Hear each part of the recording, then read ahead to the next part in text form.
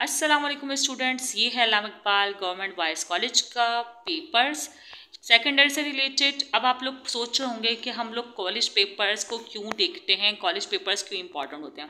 Students देखिए, जो college के पेपर्स होते हैं ना, वो प्रोफेसर्स बनाते हैं और प्रोफेसर उस चीज़ का आइडिया लगा सकते हैं क्योंकि वो एक्सपीरियंसड होते हैं कि कौन से टॉपिक जो है वो एग्ज़ाम के पॉइंट ऑफ़ व्यू से इंपॉर्टेंट है। इसलिए स्टूडेंट्स प्रीफर करते हैं कि जो कॉलेज में टीचर्स पेपर बना रहे हैं, उसको भी एक बार ज़रूर देख लें। क्या पता उससे जो क्वेश्चंस हैं, वो एग्ज़ाम में आ जाएँ। ठीक है? उसके अलावा एक मटेरियल मिल जाता है उन्हें प्रैक्टिस करने के लिए कि उनकी तैयारी कैसी है। जब आप कोई पेपर देखते हैं ना तो आप उसमें ये भी चेक करते हैं कि हमें क्या क्या तैयारी है हमारी हमें क्या क्या याद है। सही आप टिक मार्क करते हैं और फिर आप अंदाज़ा लगाते हैं यार ये तो मैंने याद नहीं किया इसको मुझे याद करना चाहिए।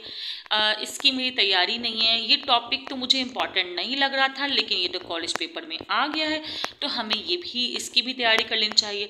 और फिर एमसीक्यू सॉल्व कर लेते हैं। अच्छा ये काम करते वही स्टूडेंट हैं जिनको मार्क्स इसको ज़्यादा लेना ज़्यादा लेना होता है। मतलब कि जिनको ख्वाहिश होती है कि वो एग्ज़ाम अच्छे नंबर से पास करें। बाकी तो सबकी दुनिया भाई चल रही है, सबका गुजारा हो ही रहा है। ठीक है तो हम भी, हमारी भी कोशिश होती है कि ऐसे स्टूडेंट्स को हमारी वीडियो से मदद मिल सके। और जिसने पीडीएफ बनाया है, उसके लिए थैंक यू दुआओं में याद रखिएगा।